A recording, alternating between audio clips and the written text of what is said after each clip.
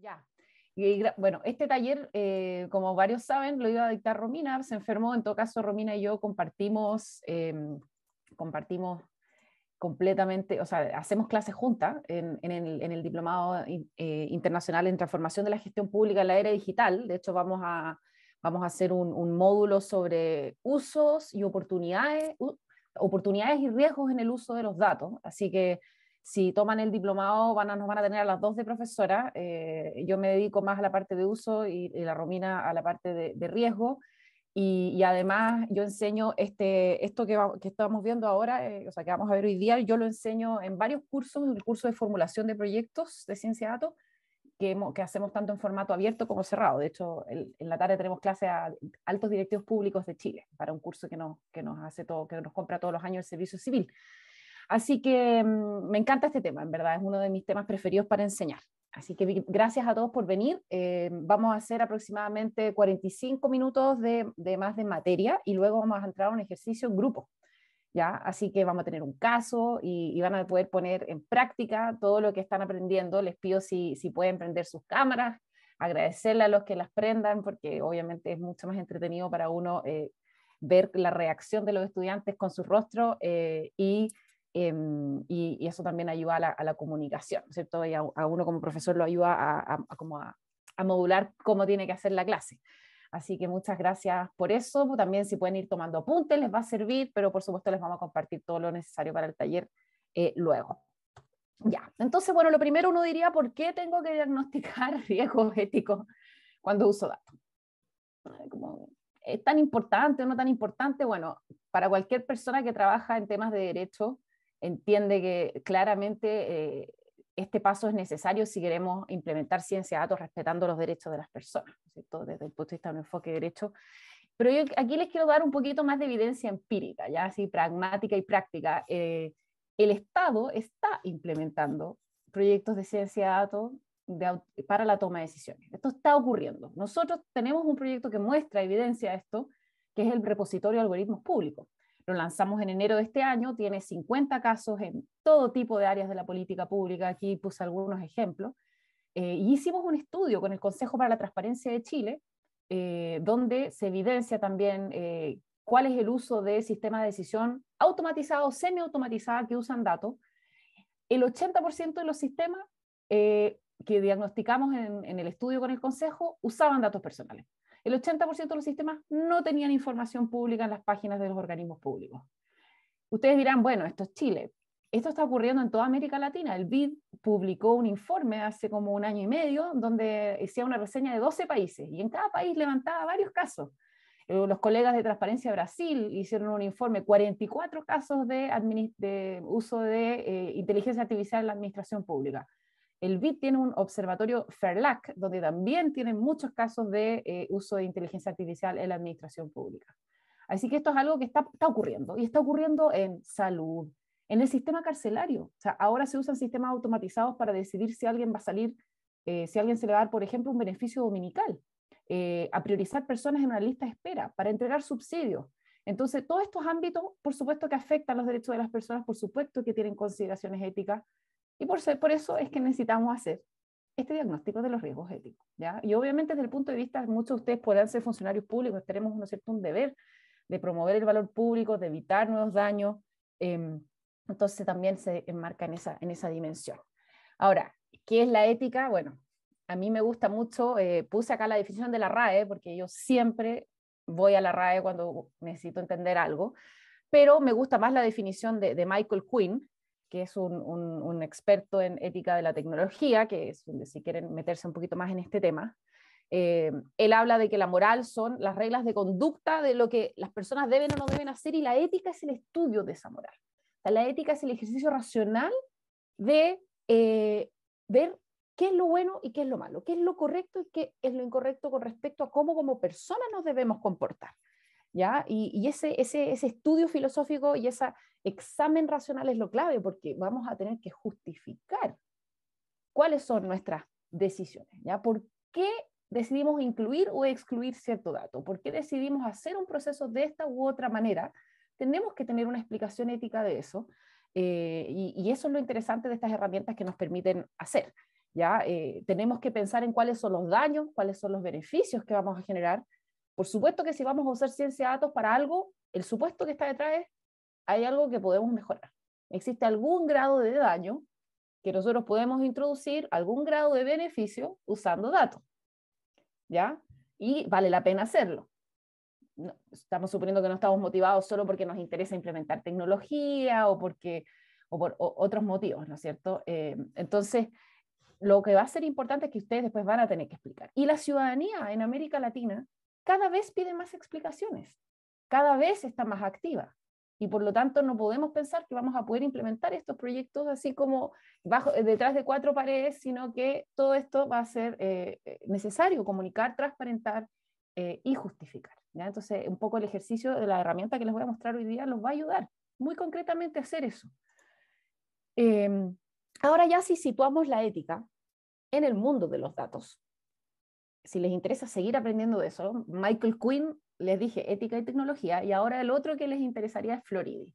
Luciano Floridi es uno de los principales autores en ética de los datos, eh, y entonces también es alguien que les recomiendo eh, mirar, pero básicamente él dice que la ética de los datos es una rama de la ética, yo diría de la ética aplicada, porque no, esto no es eh, la deontología, el kantianismo, ¿no es cierto? Es una rama de la ética aplicada, ahí, ahí modifico la, la, la definición, que estudia y evalúa los problemas morales relacionados con, él dice, los datos, los algoritmos y todas las prácticas en torno a eso. ¿Y para qué? Bueno, formular y apoyar soluciones moralmente buenas, ¿ya? Lo, lo correcto, lo, lo, bueno. ¿Ya? En que eso obviamente va a depender, sabemos de la, cada una de las sociedades donde esto se implementa, de las comunidades. Em, entonces, esa es la definición. Ahora, concretamente, ¿de qué estamos hablando cuando hablamos de ética de datos y de ética de la IA? Hubo un estudio en el año 2019 que realizaron eh, en, en, Suiza, en donde levantaron eh, fueron a estudiar como más de 80 marcos éticos, así como cuando una organización, la OCDE, decide publicar marco ético de esto, o una asociación gremial, distintas organizaciones que deciden decir, en el fondo, qué principios eh, eh, significan un uso ético, en este caso, de la inteligencia artificial. ¿ya? sabemos que estos conceptos se van mezclando mucho, pero finalmente en el mundo más como comercial o del sector público se empiezan a mezclar las líneas la metodología que yo les, que les vamos a enseñar, nosotros la usamos para proyectos de ciencia de datos que son más simples, no son inteligencia artificial, y también para los de inteligencia artificial, o sea, toda la gama, ¿ya? Eh, ¿Y cuáles son estos principios que aparecían en estos marcos éticos que habían, se habían creado en distintas partes del mundo, proliferado? El más mencionado era el de la transparencia, ¿ya? que se le conoce como un principio proético y tenía varias palabras asociadas, o sea, no, no es que apareciera solo como transparencia. Eh, segundo lugar, justicia y equidad. ¿ya? Tercer lugar, no maleficencia, ¿ya? no dañar. Cuarto lugar, responsabilidad. Quinto lugar, privacidad. ¿ya? Y sexto lugar, beneficencia. Estos eran los seis principios más mencionados en todos estos distintos marcos que habían salido en, el mundo, esto al 2019, ¿ya? Obviamente que yo creo, pero yo creo que si hiciéramos una revisión, porque entre el 2020 y el, y el 2022 se publicaron muchos más, eh, y el tema es que mucha gente hace eso, solo publica principios. Nosotros en el GovLab no, hemos avanzado bastante más allá de los principios, ya tenemos metodologías para hacer esto, eh, el diseño, y ahora estamos piloteando con, eh, con FONASA, con la Defensoría Penal Pública y otros organismos metodologías para implementar esto. ¿ya? No solamente diseñar, sino ya implementarlo en la práctica, en proyectos reales. Y eso es lo que se ve menos en el mundo. ¿ya? Se ve bastante menos. Así que la invitación a ustedes a ser pioneros en hacer este tipo de cosas. Em, es la clásica pregunta que se nos hace si la ley y la ética es lo mismo, no es lo mismo, está relacionado, por supuesto, cuando hay un consenso tan grande en algo, eh, de que algo es bueno o malo, muchas veces se convierte en ley, pero a veces también las leyes se quedan, ¿no es cierto?, pétreas, se quedan eh, anquilosadas y, la sociedad va cambiando lo que considera incorrecto o correcto. Entonces también la ética evoluciona eh, de manera más rápida que la ley y la, ley como que siempre está como por detrás, ¿no es cierto? Por detrás. eh, pero obviamente que, el compliance es importante, pero eh, no es suficiente. El compliance entiende ese cumplimiento de la ley, no, no es suficiente. La invitación nuestra es que a solucionar problemas con datos. Los que conocen el GovLab saben, tenemos muchos proyectos, trabajamos, nos interesa que se usen los datos, esa es nuestra postura, que los datos se aprovechen para mejorar la administración pública, para brindar buenos servicios, pero hay que evitar que creemos nuevos problemas, ¿no es cierto? Entonces, tenemos que usarlos de manera responsable. Entonces, obviamente tenemos que tener bien definido el problema, ¿ya? No, no tenemos que llegar como, como con un dataísmo o un tecno-optimismo a, poner la tecnología al frente de todo. Eh, muchas veces nosotros le decimos a los directivos públicos, yo creo que eso lo podría solucionar de otra forma. No creo que necesites un producto de ciencia de datos, un modelo predictivo. Y, y, con toda honestidad, y eso es bueno. Eh, es muy bueno hacer eso. Así que los innovadores, eso sí, les, les interesa mucho como la solución, pero, pero hay que dedicarle tiempo al problema. Y entendiendo bien el problema, veremos cuál es la solución y si es que la solución sirven los datos o no. Obviamente tenemos que, para hacer un análisis ético, tenemos que tener claridad de quiénes son afectados, ¿ya? Y vamos a ver ahí que la metodología eh, toma eso en cuenta. Tenemos que eh, tener datos, obviamente, o poder acceder a ellos, ¿ya? Son como condiciones mínimas de prefactibilidad que vamos a tener que tener si queremos hacer un proyecto de ciencia de datos. Tenemos que ser capaces como organismo de hacer algo sobre el problema.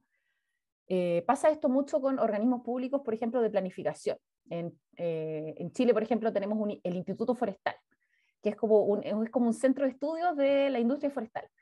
Pero es un centro de estudios nomás. Si, eh, si el Instituto Forestal quisiera hacer algo, tendría que asociarse con la Corporación Nacional Forestal, que es la entidad que administra los parques, que toma la, que eh, fiscaliza, o sea, que ve toda la regulación del tema de los bosques, ¿se entiende?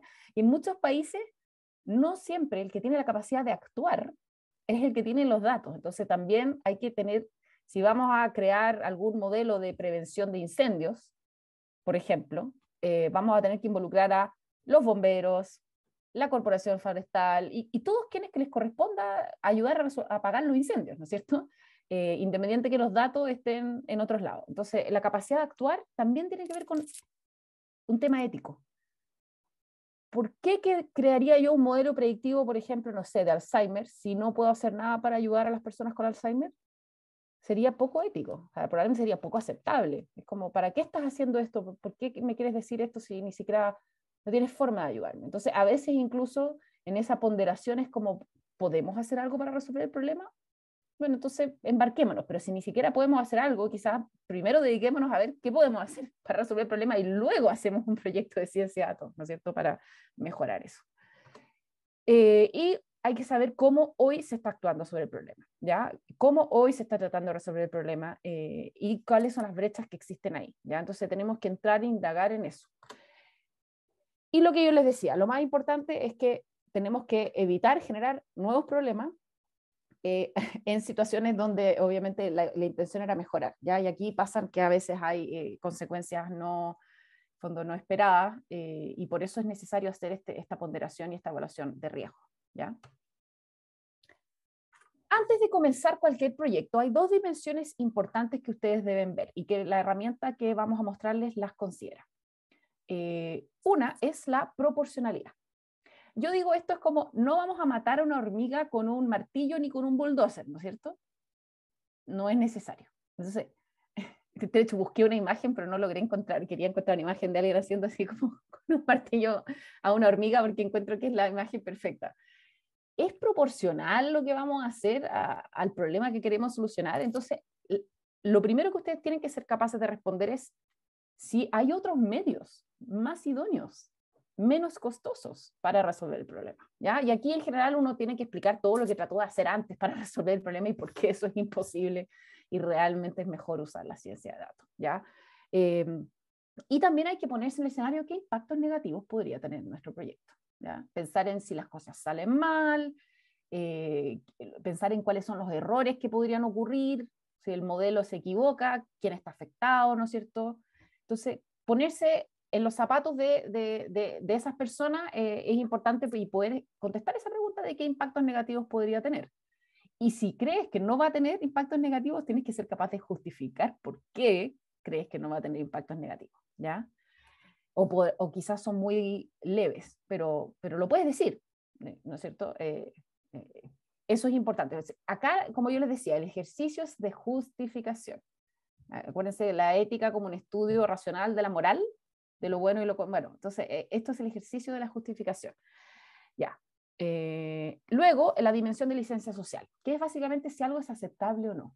¿ya? Si la gente lo considera aceptable o no. Y por supuesto que eso es una dimensión que se va moviendo, eh, en el sentido de que hay cosas que antes eran inaceptables y que ahora son aceptables, o, por ejemplo, los jóvenes que, están, que son nativos digitales 100%, probablemente encuentran mucho más aceptables ciertas cosas de compartir datos de, de, su, de su vida, ¿no es cierto?, en Instagram, versus alguien mayor que encuentra que es totalmente inaceptable publicar todos los aspectos de su vida privada en una red social.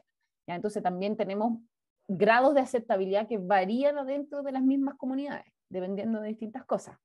Em, entonces acá nosotros hacemos dos preguntas. Estas son preguntas reales de la herramienta. ¿Aceptarán los usuarios impactados el uso de sus datos? ¿Ya? Porque hay una dimensión de aceptabilidad como de, de los directos, de quienes, de quienes eh, están siendo afectados directamente por lo que queremos hacer.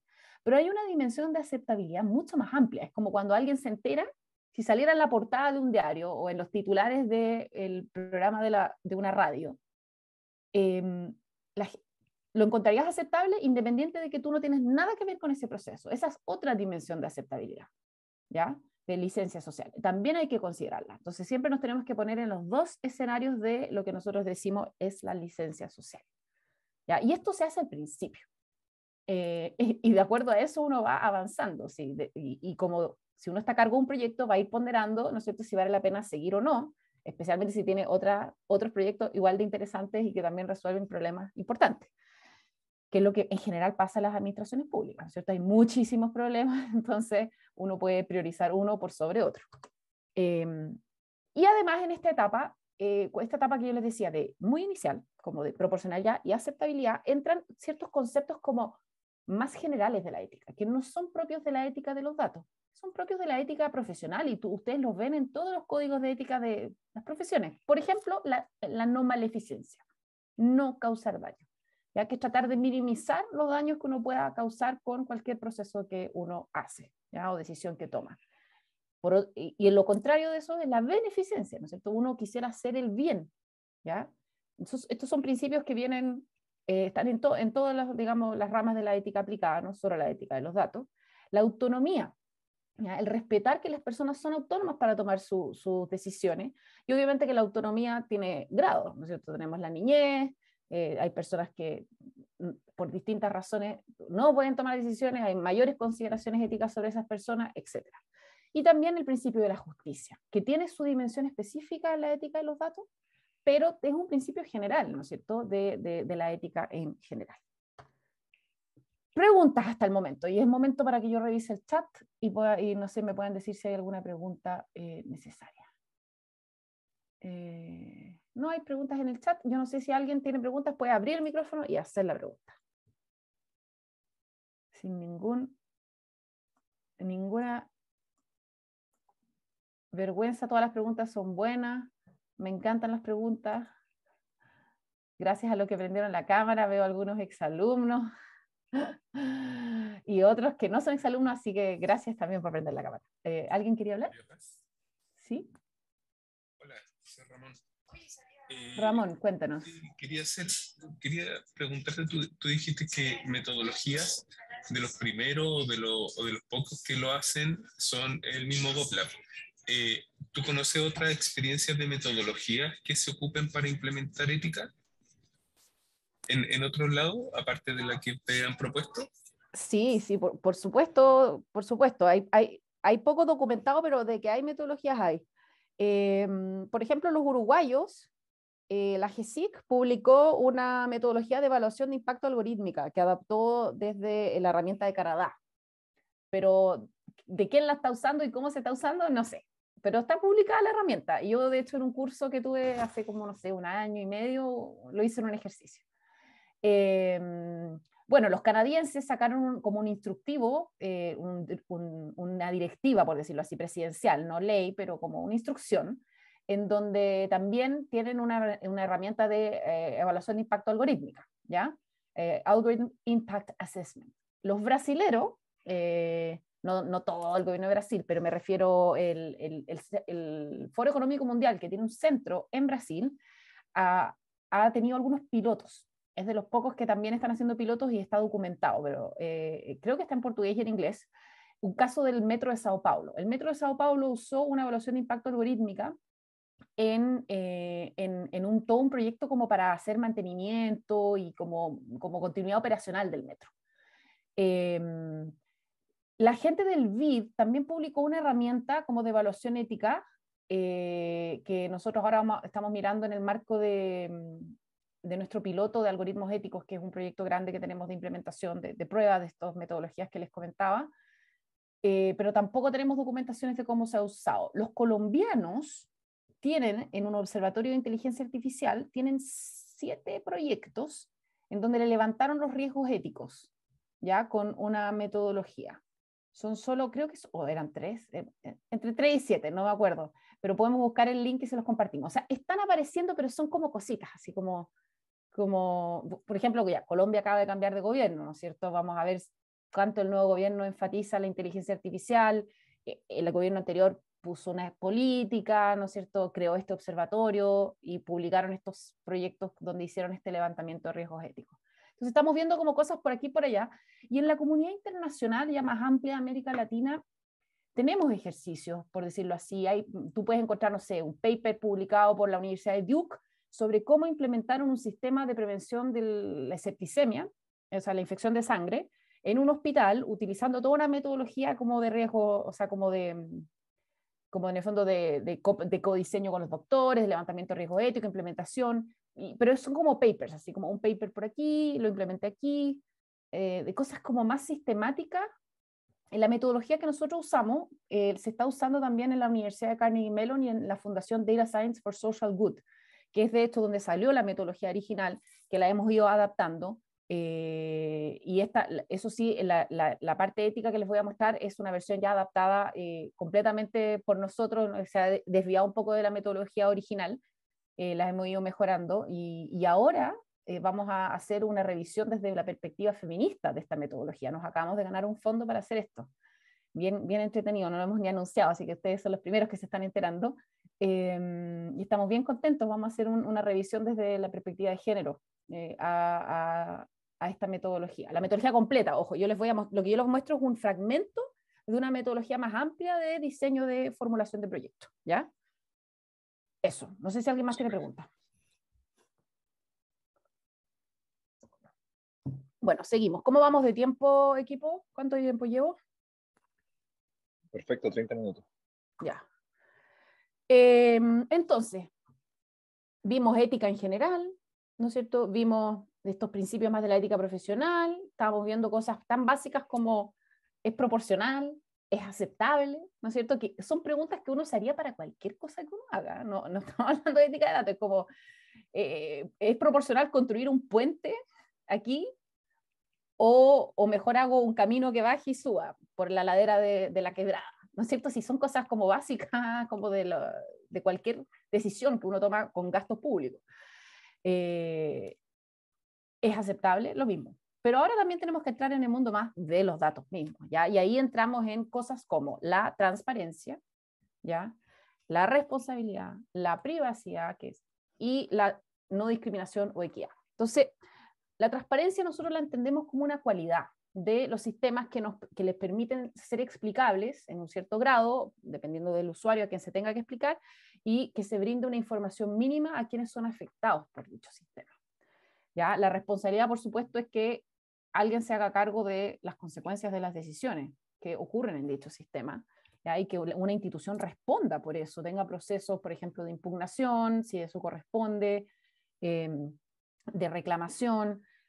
La privacidad nosotros la entendemos, por supuesto, como la protección de datos personales. ¿ya? Eh, entonces está eh, adscrita a eso. Eh, y tanto la transparencia como la privacidad son como son como derechos llave, en el sentido de que necesitamos algún grado de transparencia para saber si otros principios éticos o, y de, cualquier tipo de derecho se está resguardando o no. Y lo mismo con la privacidad. Cuando tú vulneras la privacidad, puedes vulnerar muchos otros derechos de las personas. Por ejemplo, eh, el derecho al, no sé, al acceso al trabajo porque se dio a conocer que tenías VIH y te discriminaron y no te contrataron por eso. ¿Ya? Y así tenemos los, los, dos derechos que están acá, o sea, los dos principios, mejor dicho, que están acá, son efectivamente como llaves para los otros. Em, tenemos la dimensión de no discriminación y equidad, que tiene que ver con, por un lado, identificar sesgo y por otro lado, evitar impacto dispar. ¿Qué es el impacto dispar? Es cuando a un grupo se le impacta de manera desproporcionada versus otro.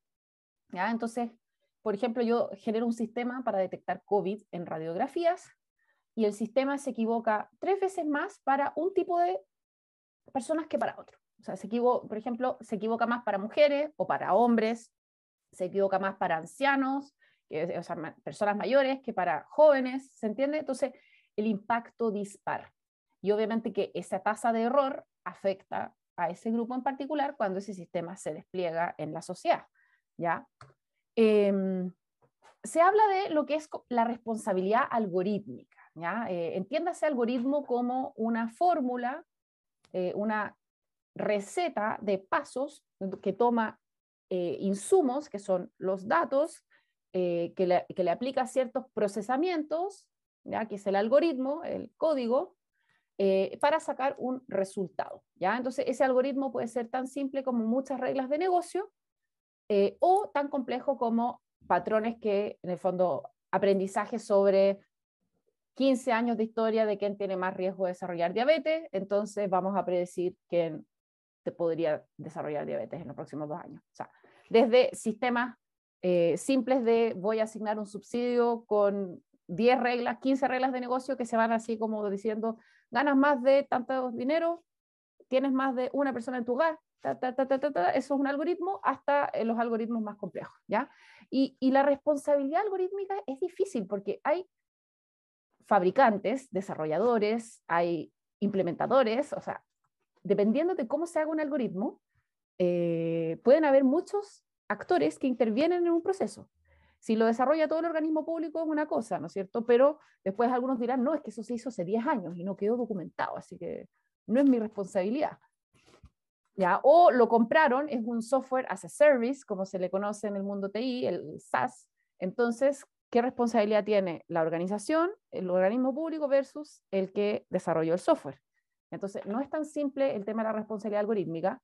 Obviamente que desde el punto de vista de un organismo público tenemos la obligación de, de justificar, explicar el uso eh, y tenemos la obligación de hacernos cargo de lo que compramos. ¿ya? Em, y la responsabilidad algorítmica se da a los distintos niveles del ciclo de vida de la, de la IA. Entonces, por ejemplo, uno puede pasar que uno tenga que rendir cuenta en distintas fases. Este taller se trata del diseño. Cuando estamos formulando un proyecto y queremos diagnosticar los riesgos éticos, todavía no nos hacemos cargo de eso pero al menos los queremos visibilizar, ¿ya? Y entonces, incluso en la etapa de formulación, cuando ustedes diseñan un proyecto para pedirle recursos al organismo presupuestario de su país, obviamente que tienen, eh, hay una dimensión de responsabilidad, incluso aunque el sistema no se haya implementado. Y nosotros lo que planteamos es que ustedes puedan evaluar los riesgos, ¿ya? ¿Qué es un riesgo? Acá está la definición, para los auditores que por ahí veo algún exalumno auditor sabe muy bien lo que es esto, es la probabilidad que una amenaza un daño se materialice. Es la probabilidad de que algo ocurra y en el caso de, obviamente, de, estos sistemas, eh, es, es, es, es, la posibilidad de que se pueda ocurrir un daño por la decisión de un sistema algorítmico. ¿ya? Entonces, eso así lo, lo estamos entendiendo como un riesgo en este caso. Eh, y existen herramientas ya que son más nuevas, nosotros las estamos probando ahora en nuestro proyecto Algoritmos Éticos, eh, pero que vienen de, del mundo ambiental, ¿no es cierto? O una tradición de evaluación de riesgos que existe y que supera con creces en el mundo de los datos, que, que, en este caso es la evaluación de impacto algorítmica, ¿ya? Entonces, eh, esto es lo que yo les comentaba en Canadá, ahora en Brasil, y nosotros em, queremos dejar, o sea, probar estas metodologías en el marco del proyecto de algoritmos éticos y, por supuesto, disponibilizarla para todos ustedes, para que la usen. Eh, la primera versión de lo que tenemos es la herramienta de formulación de proyectos de ciencia de datos, pero eh, estas herramientas son un poquito más amplias, así que vamos a ir ajustando en la medida que, avancemos con, nuestras investigaciones. Entonces, ¿cuáles son los objetivos de una evaluación de impacto algorítmica? Delimitar el riesgo de un sistema, abarcar todo el ciclo de vida. Aquí, cuando hacemos la evaluación de impacto algorítmica, ya estamos pensando más también en la implementación, ¿ah? no solo la formulación. Entonces, es como la diferencia. Entonces, la herramienta que ustedes van a aprender hoy día es de, em, es de diseño, ¿ya? Pero también ah, ya han aparecido herramientas que entran a casi todo el ciclo de vida del, del, del proyecto, ¿ya? Aunque la, la, evaluación de impacto algorítmica, la idea es que se haga siempre al principio, antes, ¿ya? Antes, antes. Ya, ¿cuáles son preguntas básicas de la herramienta que ustedes van a conocer ahora? ¿Ya? Es, es parte de una ficha de proyecto que nosotros tenemos. Transparencia. ¿Qué partes interesadas debieran estar al tanto de este proyecto? Ojo, no solamente internas, sino también externas. Partes interesadas lo podríamos traducir como grupos de interés, stakeholders, si queremos decir en inglés, ¿no es cierto? Quienes están en torno a este proyecto. Y ahí, eh, en general, la tendencia de, los, de quienes usan esta metodología es solamente identificar los grupos internos y, y identificar grupos así como amplios. La idea aquí es ponerle nombres, como la asociación tanto, la organización tanto, no solamente los funcionarios públicos, porque es como muy amplio. Entonces, no, no vamos a poder es difícil después interactuar con algo si es demasiado amplio. Luego, una pregunta es si se ha considerado o no algún mecanismo para que las partes se comuniquen con la institución por el proyecto. ¿ya? Entonces, son preguntas que hay que hacerse. ¿Necesitaría un mecanismo de comunicación? Sí o no. Muchas veces se va a necesitar, al menos con alguna de esas partes, sean internas o externas. ¿Y cuál sería dicho mecanismo? ¿Correo electrónico? ¿Va a ser una página web? Eh, no sé, a veces se usan los medios que ya existen, los sistemas de atención ciudadana, ¿no es cierto?, las oficinas de informaciones. Em, y finalmente una pregunta sobre si vamos a tener que explicar los mecanismos de toma de decisión, ¿ya? que en general algún grado de explicación vamos a tener que tener, en general. Eh, y ahí hay una pregunta importante si los, sujetos afectados van a saber o no que existe un proceso automatizado, que obviamente es muy importante que lo sepan, eh, esta pregunta no está en la ficha aún, pero yo creo que la vamos a tener que incluir. Eh, esta pregunta es un aporte de Romina, mi, colega. Eh, pero claro, cuando yo me pregunto si va a ser necesario explicar, por ejemplo, si estoy usando un, un, sistema automatizado de atención, ¿le digo a la persona que esto es un sistema automatizado o no le digo? ¿Trato de engañarla o no? En los chatbots, ¿se considera buena práctica? Por supuesto que se diga, eh, y además, bueno, muchas veces las personas se dan cuenta, pero la idea no es que se den cuenta, sino que sepan que están chateando con alguien que, es virtual. Eh, preguntas de responsabilidad. Aquí nosotros hacemos cuatro preguntas. Si les piden información, ¿quién tiene que responder? ¿Quién es responsable si el sistema se equivoca? Que en general es el jefe del servicio público, porque estamos en, una implementación de esto en el sector público. Si ustedes tienen previstos mecanismos de monitoreo, de evaluación, eh, y les preguntamos un poco sobre cómo pretenden documentar o la periodicidad que van a tener em, y si tienen previstos mecanismos de formación para su equipo. ¿ya? Entonces, la idea aquí, más que decir, no, no tengo previsto, uno diría, em, uno tiene que pensar en qué tipo de mecanismos y bueno, y si no es necesario, justificar por qué no. Acuérdense que hay que pensar y puede ser capaz de justificar por qué sí, por qué no y cuáles. Y, al menos son preguntas que hay que empezar a hacerse en la etapa inicial de un proyecto, independiente que no los voy a tener 100% diseñado en una etapa inicial, pero al menos tengo que esbozarlos. En protección de datos, la primera pregunta, aunque no lo crean, es saber si voy a usar datos personales o no. ¿Ya? Y no es una pregunta que todos los funcionarios públicos puedan contestar. Se lo digo porque nosotros hemos revisado más de 400 proyectos y, nos encontramos con errores. Y de eso diferenciar si hay sensibles porque una cosa es que un dato sea personal y la otra es que sea sensible. Son cosas que hay que aprender a diferenciar eh, y una cosa importante es, identificar lo que se llama la base de legalidad o lo que te habilita para tratar esos datos. ¿Es tu ley orgánica? ¿Es, eh, es un contrato? ¿Es, ¿Es el consentimiento? ¿Qué es lo que habilita a alguien para tratar, a un responsable, a un organismo público para tratar los datos? ¿ya? Eh, y eso siempre hay que justificarlo. Entonces, uno desde el proceso, el, dueño del proceso, también tiene que entender eso. Esto no es solo un tema de los abogados. Eh, también saber si los datos van a ser procesados solo por mí o por terceros. Em, esta pregunta, eso sí, no está en la ficha, pero son otros de los aportes que eventualmente estamos viendo para integrar.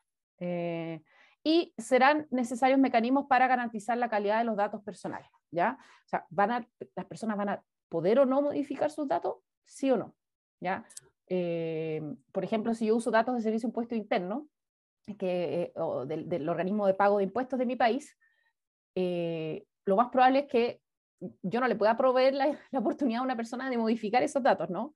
Pero quizás en, el, organismo de origen sí lo podrá hacer si corresponde y habrá un proceso para actualizar dichos datos, ¿no? entonces va a depender mucho de quién, dónde están los datos, cuál es el origen y dónde corresponde modificarlos o no. por ejemplo, si, si son datos administrativos de, de hubo, o no, uno, hubo o no hubo una consulta médica. Eh, obviamente los sistemas nos van a decir, pero claro, la persona puede decirnos que yo al final no fui a esa consulta médica. Y ahí, bueno, uno podría tener que rectificar esa información o no, digamos. Preguntas básicas de equidad. Eh, una, la primera pregunta que nosotros hacemos es, ¿qué inequidad de base existe en esta situación?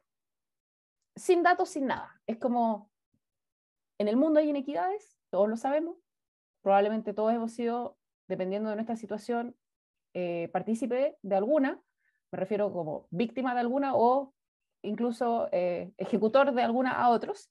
Entonces, eh, ¿qué inequidad de base hay? No, bueno, este proceso solamente, eh, solo pueden acceder mujeres que ganan menos de tantos recursos, por lo tanto ya está focalizado en no sé qué, o en el, no sé, estamos hablando del, del, mundo del trabajo, por ejemplo, las mujeres ya tienen sueldos menores, ¿no es cierto? O estamos hablando de temas de personas con discapacidad, existen inequidades de base, por ejemplo, de acceso a información para personas con discapacidad. hay muchas inequidades de base socioeconómicas, de todo tipo. Entonces, la idea de esta pregunta es simplemente como visibilizar eso, ¿ya? lo que ya hay. Para eso uno tiene que conocer el proceso. Después, la segunda pregunta es, ¿hay grupos específicos para los cuales nos gustaría que los resultados fueran equitativos. Y aquí ya empieza a ser mucho más, por ejemplo, estoy haciendo un proyecto para las pequeñas y medianas empresas. Eh, o no, no para las pequeñas y medianas empresas, para las empresas. Quizás una dimensión de equidad para mí es que el modelo de resultados equitativos para una pyme, una pequeña y mediana empresa, que para una gran empresa. Entonces puede haber una dimensión de tamaño de equidad, por ejemplo, para un proyecto que trate de beneficios a empresas o puede haber una dimensión urbano-rural, una dimensión de género, una dimensión de ingresos, lo que fuera, ¿ya? Pero va a depender mucho del proceso. También puede ser que nuestro programa sea específicamente porque hay un grupo desventajado y queremos mejorar su acceso a algo. Entonces ya tiene una intencionalidad, ¿no? Este programa lo que más nos importa es que las mujeres jóvenes logren tal cosa. Y finalmente, la tercera pregunta es, ¿qué sesgos creen ustedes que podrían tener los datos? Y el tomador de decisión en general sabe qué sesgos pueden haber. Por ejemplo, te dice, no, esta base de datos no incluye a personas migrantes, porque por tal y tal razón las personas migrantes en mi país no acceden a este servicio, la, la, la, la. Ah, ya. Entonces después, ¿eso es un problema o no?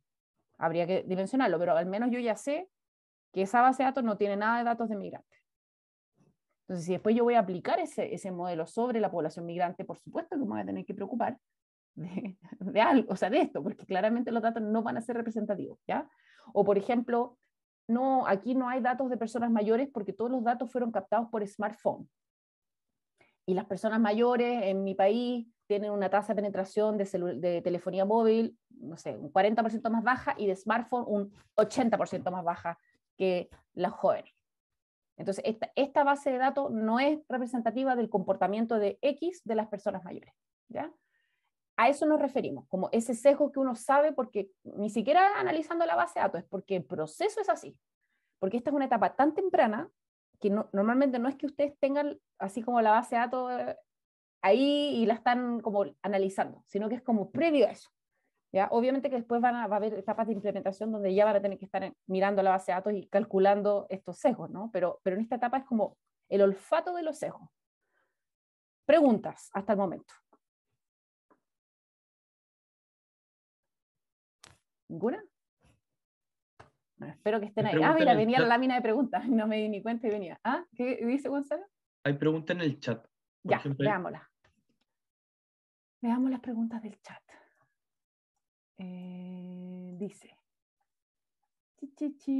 En cierta medida, ¿hay que tener una evaluación psicológica antes de trabajar con datos? No. Eh, no, no, no, no creo que sea necesario una, una evaluación psicológica. Eh, sí, por ejemplo, si, o sea, dependiendo del proceso que tú vayas a implementar, puede ser necesaria una evaluación psicológica, por ejemplo, se vas a ser profesor o, otras cosas, pero no. Eh, lo que sí, la dimensión desde la psicología, como el pensar en el bienestar de las personas, salud física, salud mental, obviamente es como uno quisiera que fuera parte como de un proceso de empatía y de, pero, porque claro, si alguien fuera sociópata diría, no, ¿qué me importa que voy a dañar a las personas? ¿No es cierto? Obviamente, pero, pero no, no, es, no, es, no es necesario, al menos en, en lo que es la, ciencia de datos. Em, o al menos yo nunca lo, he visto y tampoco sé si lo requeriría. Dice, en el Estado los datos personales son los mismos para todas las instituciones. Eh, a ver, hay dimensiones de datos personales que en general son, todos los organismos públicos tratan, o, la gran mayoría. Por ejemplo, nombre y apellido de usuarios, ¿no es cierto? Número identificador de un usuario. Correo electrónico de un usuario. Dirección del hogar de un usuario. Usuario entiéndase una persona natural. esto es importante. Los datos personales son aquellos datos identificados o identificables de una persona natural, viva, cuando nosotros muramos, no vamos a tener datos personales. Mientras estamos vivos, tenemos, las empresas no tienen datos personales. ¿ya? Las personas naturales tienen datos personales. Entonces, un organismo que solo trata cosas no tendría datos personales, pero igual sería raro porque, no sé, los servicios de minería ¿no es cierto? Ya trata minas, pero también hay trabajadores en las minas. Entonces, uno podría pensar que eventualmente va a llegar algún tipo de dato personal a esa organización, a pesar de que va a tener datos de yacimientos geológicos y, no sé, densidad de la roca o, un servicio del agua, va a tener información de los lagos, de los ríos, del mar, pero quizás también tiene información de personas que interactúan con los cursos de agua de un país, ¿no es cierto? Entonces, ese sería un poco el, la dimensión. Y déjenme mirar. ¿Lo ético va asociado a la legislación o va más allá? Va más allá, Alejandra, va más allá. O sea, la legislación es un mínimo y a veces incluso la legislación, eh, la ética puede haber avanzado y alguien puede considerar que lo que está en la ley es, inaceptable. ¿ya? Y esto pasa en los países, ¿no es cierto? Eh, por ejemplo, la ley en Chile, eh, no sé si ya, lograron cambiar eso, pero la ley en Chile decía que el hombre era el que tenía que administrar los bienes en, un matrimonio. Y no sé si han logrado cambiar eso. Entonces, y era, eso es legal, pero es ético, y yo diría a muchas mujeres dirían, ¿por qué tiene que ser solo el hombre? Podría ser uno de los dos, podría ir variando, ¿no es cierto? Entonces, la ley también a veces se queda atrás con respecto a temas éticos. Eh, así que también tiene esa parte como al revés. Ya, ¿algo más?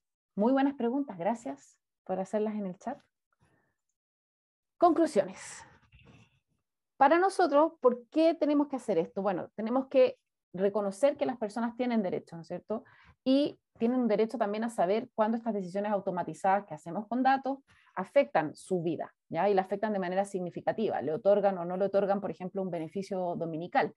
Eh, si yo soy una persona privada de libertad, eh, si se usa un algoritmo de ponderación que, se, que toma una decisión, o por ejemplo, en España, eh, existe un algoritmo que se usa para calcular el riesgo de revictimización de mujeres que han denunciado violencia intrafamiliar. Eh, y entonces se le hace un cuestionario a la mujer cuando denuncia en la comisaría y todos esos datos se calculan y sale un indicador y de acuerdo a ese indicador se le asigna o no se le asigna medidas de protección. En el 95% de los casos, los policías asignan lo que, el, lo que el algoritmo dice que tienen que asignar. O sea, es prácticamente que el algoritmo toma la decisión, a pesar de que en algunos casos no es así, pero el 95% es así, de acuerdo a estudios del propio Ministerio del Interior español. Eh, e, entonces, claramente, si te asignan o no, no sé, eh, una, ¿cómo se llama estas medidas de alejamiento, por ejemplo? ¿ya? Eh, eso es una, algo que puede afectar tu vida. En el caso de una mujer víctima de violencia intrafamiliar, si está mal asignado. Entonces, de ese tipo de ejemplo estamos hablando. Eh, nosotros queremos que las entidades públicas, ¿no es cierto?, tengan capacidad de evaluar los proyectos que quieran hacer, los sistemas que quieran adquirir. Y este tipo de herramientas también nos permiten, por supuesto, hacer un escrutinio público externo en la medida que estén, por supuesto, publicadas. ¿ya? Y tenemos que poder dar la posibilidad, cuando diseñamos nuestros procesos de impugnar las decisiones, eh, de disputar una decisión en caso corresponda, eso también es importante pensarlo desde el principio. ¿Dónde van a encontrar esta metodología que van a conocer? Bueno, el principal, eh, hay varios lugares, pero el material editable está aquí, en un portal que se llama Ciencia de Datos para Directivos Públicos. Si ahí le pido al equipo que pueda compartir eh, el, link. Y ustedes pueden descargar aquí varias cosas y lo más, o sea, no lo más importante, pero la, herramienta está acá adentro, la ficha de proyecto, ¿ya? Es la sección consideraciones éticas, pero obviamente esto es mucho más amplio que solamente lo ético. Eh, así que ahí está. Este, lo hicimos este proyecto con el Servicio Civil y el Laboratorio Gobierno y el Centro de Data Science y Políticas Públicas de la Universidad de Chicago, esto ya en el año 2019. Hemos ido creando nuevo material. Esta ficha es de agosto de este año, así que está fresquita, fresquita y modificada. Em, tenemos un manual publicado en septiembre del año pasado, que está, lo escribimos para el BID. Los tres autores que están acá son del GovLab, somos los tres profesores de, esta metodología pero eh, esto está publicado por el BID y el, título es de inteligencia artificial, pero como yo les decía, esta metodología sirve para cualquier tipo de proyecto de ciencia de datos. Y la primera parte de este manual es esta metodología y está explicada. ¿ya? Así que a los que les gusta leer, este es un buen lugar para ir, está explicado, está en español y este manual está orientado a tomador de decisión, no al equipo desarrollador. El BID tiene otro manual que está orientado al data scientist, ¿ya? el científico de datos eh, entonces, esto también es bueno si ustedes no son tan técnicos. Y si son de Chile, el jueves pasado lanzamos una nueva guía con, el con la División de Gobierno Digital y el apoyo del BitLab en el marco del proyecto de algoritmos éticos. Así que si son de Chile, tienen esta guía, que esa, esa guía considera normativa de Chile.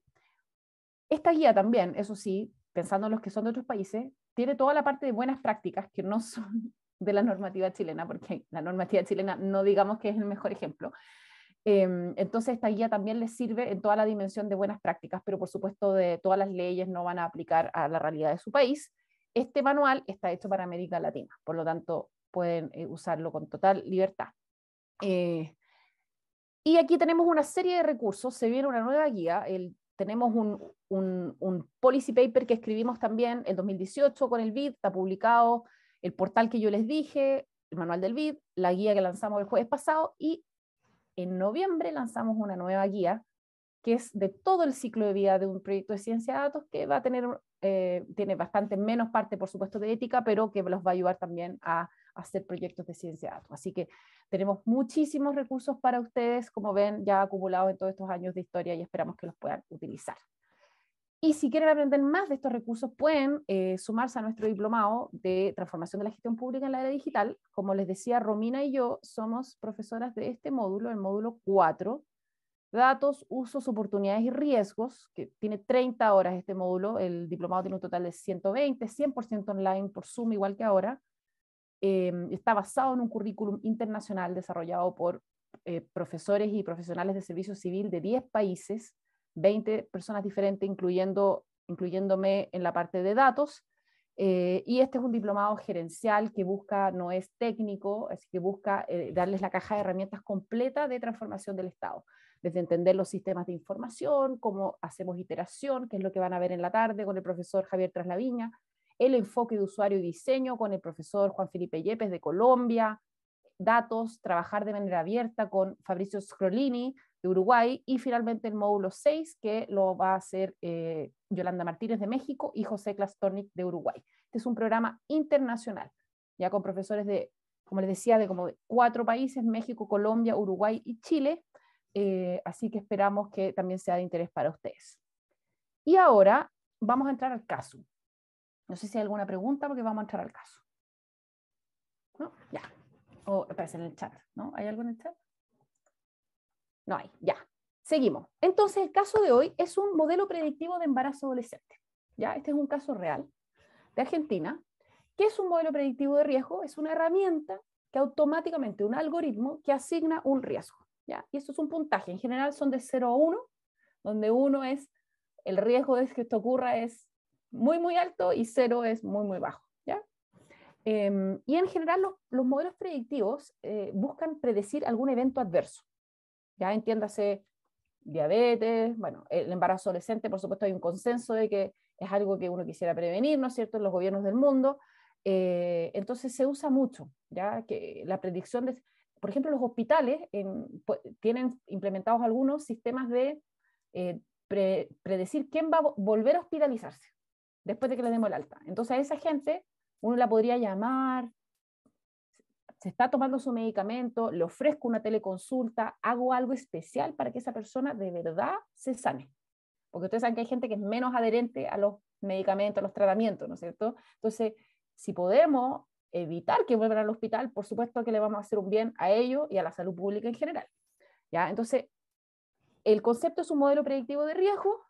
Ya los modelos utilizan datos en general que se recolectan de manera periódica, datos administrativos, y la lógica desde la administración pública es recursos escasos, ¿cómo focalizo?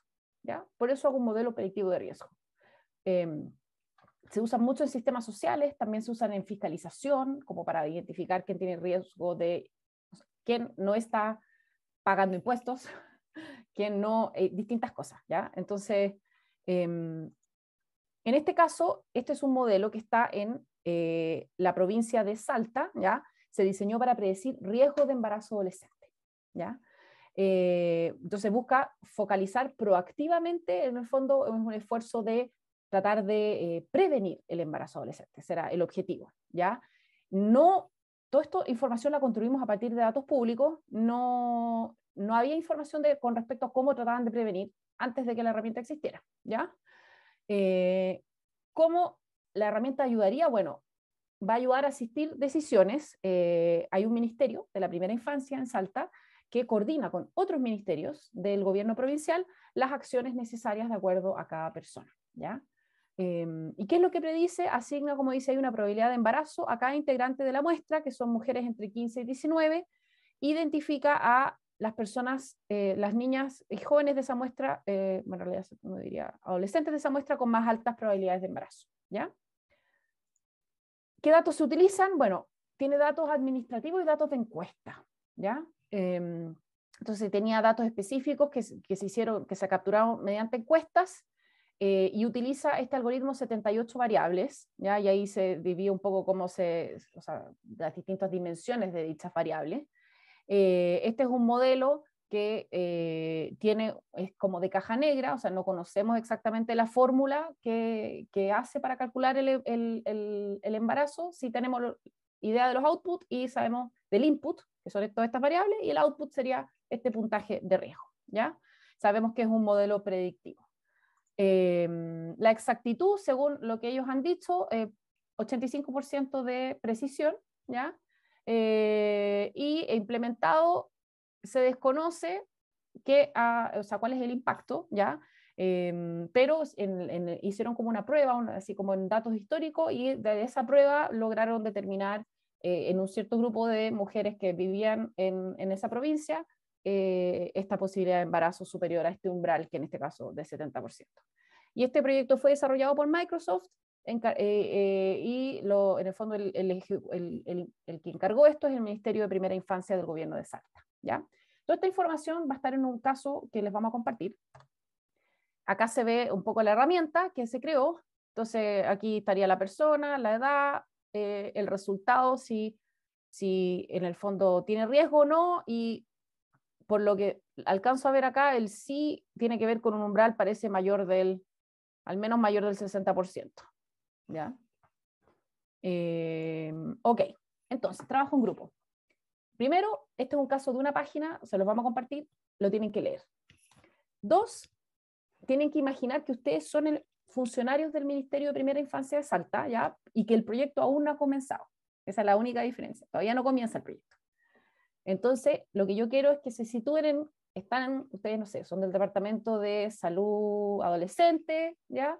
Del Ministerio de Primera Infancia, y, y ustedes tienen un problema de embarazo adolescente en la, en la provincia y y en el fondo quieren hacer este modelo predictivo. Entonces quiero que contesten las preguntas desde esa perspectiva, desde el funcionario público. No es necesario contestar todas las preguntas, ¿ya? Si hay una pregunta que es muy difícil, se la saltan, porque son muchas. Entonces, como este es un taller, vayan teniendo una prueba de lo que logran contestar. Eh, y obviamente, obviamente pueden hacer supuestos para contestar las preguntas, pero que sean plausibles, que sea razonable que un ministerio de primera infancia pudiera hacer, ¿ya? cosas creíbles. ¿ya? Em, entonces, eh, las instrucciones ya están compartidas, el link del caso está Em, acá está el caso, ¿ya? Así que ustedes pueden entrar y verlo. Eh, eh, no sé si también podemos mandar el caso, el, archivo por, por, el chat, porque en, caso alguna persona tenga el firewall del sector público y no puede entrar a Google, que siempre pasa. Eh, entonces, preguntas, al, preguntas a las instrucciones del trabajo en grupo. ¿Alguien tiene alguna duda sobre lo que tiene que hacer cuando se vayan? Ah, no les mostré la ficha. Cada uno de ustedes va a tener una ficha, ¿ya? Entonces, por ejemplo, acá está grupo 1, eh, entonces, ustedes van a tener una dimensión, que es la proporcionalidad, y dos preguntas. Una dimensión, que es la licencia social, y dos preguntas. Entonces, ustedes aquí ponen sus respuestas. No, necesitamos que solamente una persona que de cada grupo acceda a la ficha y entre, entre todos conversan y, uno actúa como secretario o secretaria y escribe las respuestas, ¿ya? Y si hay una pregunta que la encuentra muy compleja, se la salta, no hay problema. Y ahí van avanzando, van avanzando, van avanzando. Como se fijan, son hartas preguntas, son cuatro páginas, pero intenten ahí por contestar alguna de cada dimensión y eso yo creo que es lo importante. Ya, ahora sí, preguntas sobre el ejercicio mismo.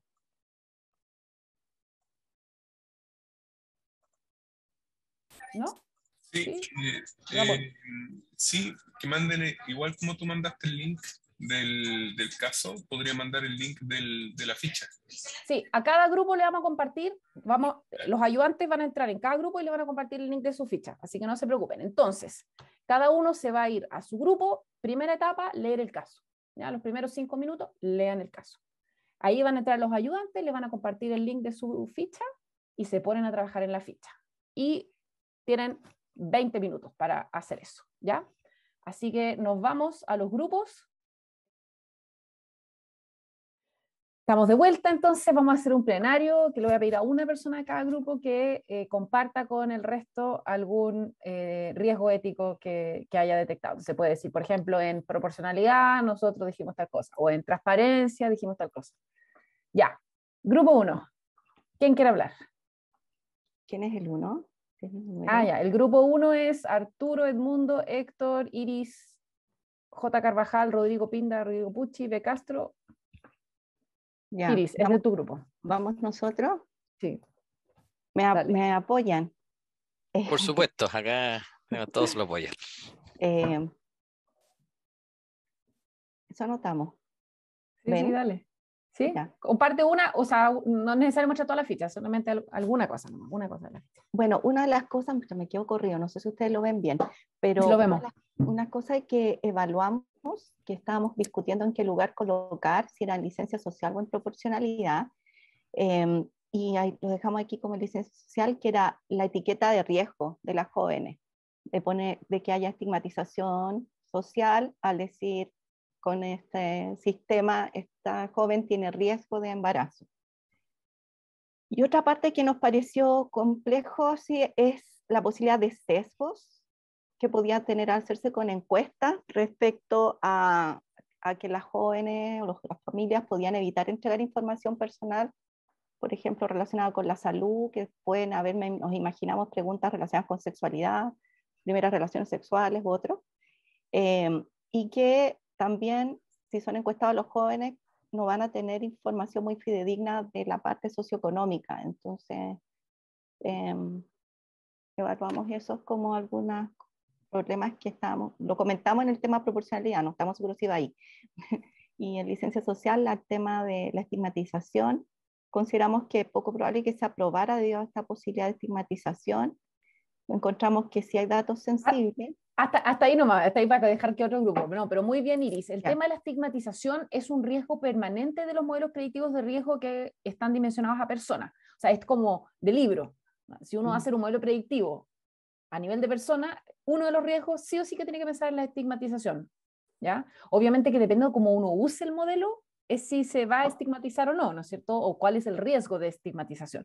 Pero sí, por libro es como el riesgo clásico del modelo predictivo de riesgo aplicado a nivel de persona natural. ¿Ya? Eh, o de o del problema, o como, el modelo, o como se haga la pregunta, porque como es el riesgo de embarazo.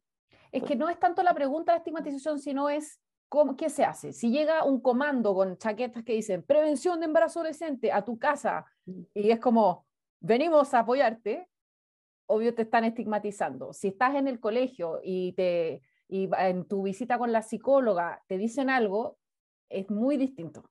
¿Te fijas? Entonces, ¿qué es lo que yo hago con esa información? ¿Quién la ve? ¿Cómo se usa? Va a afectar la estigmatización, ¿ya? Entonces, eh, por, ejemplo, es básicamente eso. Si un doctor en tu consulta te dice, ¿sabes qué? Tienes un alto riesgo de tener diabetes, entonces yo te recomiendo cambiar tu estilo de vida, no sé si te está estigmatizando versus que si toda, toda tu familia se entera que tienes un alto riesgo de diabetes, después ya no te dejan comer nunca más torta, no sé. entonces hay como distintas cosas, eh, depende de la dimensión. Ya, grupo 2, eh, que es Carla, Xiao, María Luisa y Natalia. No sé si alguno de ustedes quiere compartir algo. Sí, bueno, no alcanzamos a escribir tanto es porque por algunos temas administrativos, eh, o sea, técnicos. pero básicamente nos centramos en, en, el primer punto que es la proporcionalidad eh, y creemos que, que ciencia de datos, inteligencia artificial sí podría resolver eh, este problema en particular o apoyar eh, en parte la, la, la, resolución de, de, esta problemática. No obstante, tienen que tener cuidado con si cuenta con suficiente información, variables posibles para poder hacer el análisis y quizá complementar con, de todas maneras, una mirada de, de un profesional experto eh, para tener un, un, mayor una mayor precisión. Eh, ¿Qué más vemos ahí? Eso básicamente es eso. Eh, y bueno, si hemos evaluado otra alternativa, es como siendo funcionaria, sería como lo que ya hemos hecho, y la posibilidad, otra posibilidad que puede haber, pero no, no entramos mucho en detalles sin conocer el, contexto mayor, ¿no? Em, ah y el riesgo, perdón, eh, el impacto negativo mayor es en el fondo no contar con la variable suficiente, eh, por lo cual podría tener, como lo que decía en el caso que había 15% de, de inexactitud, si no me equivoco, lo que decía ahí. Claro, o sea, por ejemplo, o sea, el riesgo sería, a ver, bueno, lo, lo que usted dice, las alternativas son interesantes. ¿Qué ¿Cómo prevenimos embarazo adolescente? Podemos hacer charlas a nivel de colegio, podemos entregar método anticonceptivo, hay muchas formas, ¿no es cierto? Eh, podemos, no sé, educar a los padres, o sea, eh, hay muchísimos programas de prevención de embarazo adolescente. La lógica de un modelo predictivo de riesgo es que de alguna forma hay algunos que les tengo que dar algo diferente al resto, porque si se trata solo de hacer charlas a nivel de colegio, no sé si necesito un modelo predictivo de, riesgo, ¿no es cierto? Eh, entonces, em, y, y, una de las grandes preguntas que tenemos en este caso es que no sabemos, no, no son explícitos en decir qué van a hacer con su modelo. Entonces, es difícil hacer una evaluación ética si, si no sabemos, dicen, vamos a coordinar acciones. ¿Qué acciones? ¿Qué acciones? Porque es muy distinto, como les decía, llegar con el comando de prevención del embarazo adolescente a tocar la puerta de la casa, a que la psicóloga del colegio te diga algo. Es que son cosas totalmente diferentes desde el punto de vista ético. Entonces, eh, eh, o que le digan algo a tu papá, o sea, también hay dimensiones de que, ¿no es cierto?, de que los jóvenes eh, tienen su, o sea, bueno, no soy experta en, el tema, pero se, entiende como que depende de lo que hagan con, la, con el modelo y, y como son, como no dicen, eh, es un tema muy complejo de evaluar. Grupo 3, si tiene algo diferente que quiera compartir, el grupo 3 es Alejandra, Benito, eh, Marisela y Ramón. Hola, buen día. Buen día. Em, bueno, yo creo que eh, si en sí se podría implementar el modelo, es como esto, ¿para qué se va a llevar a cabo? O sea, se va a llevar a cabo para de verdad educar a la población o solamente para discriminar, o solamente para tener como otro sesgo de que si sos salteña, tenés entre 12 y 19 años, podés ser madre, que hoy no todas las adolescentes lo pueden ser, y eh, también complementar esto de que, qué se hace con esos datos, o sea, se le puede eh, a esas adolescentes eh, ir a influir de que, no de que no sean madres, que se puedan operar antes, que vendan sus células madre y muchas cosas más, como se hace hoy en día hace poco una, amiga fue mamá y como fue una clínica privada, eh, sus datos aparecieron en muchos lados y todos los hospitales o clínicas le ofrecieron para que venda su placenta, para que todas estas células madre vayan a laboratorios y se puedan usar como medicamentos. Entonces, que tengan información de muchos adolescentes eh, es muy riesgoso y, y, o sea, y que le impacten así como, vas a ser madre de 12 a 19 años, opérate. o sea, es muy sensible la información que se puede llevar a cabo. Así que... Claro, todo, Buen, muy buen punto, Marisela. Gracias al, grupo 3. Hay, hay, un tema importante de cómo se resuelve el problema. El problema acá es el embarazo adolescente, ¿no es cierto? ¿Cómo, cómo tratamos de resolver y por qué no nos está funcionando la forma actual? Eh, y obviamente en el caso no se describe nada de eso. Entonces es difícil, eh, es difícil eh, hacerlo. Bueno, les cuento qué pasó con este caso. Este caso generó un, un gran revuelo en Argentina. estuvo muy descontextualizado como de la, de la dimensión del problema se lanzó en una conferencia de tecnología de Microsoft. Imagínense. Eh, entonces, y, fue como, como planteado así como la gran revolución tecnológica y el ministro que lo lanzó dijo que las niñas estaban predestinadas a quedar embarazadas. O sea, ni siquiera entendía lo que hace un modelo predictivo de riesgo, que es estimar una probabilidad que tiene error. No es un, no, nadie está predestinado. ¿ya? Entonces, generó mucho revuelo. Obviamente no hubo interacción con los grupos sociales, eh, que, trabajan en estos temas, esta, esto era en plena discusión de ley de aborto en Argentina, o sea, ya como totalmente descontextualizado.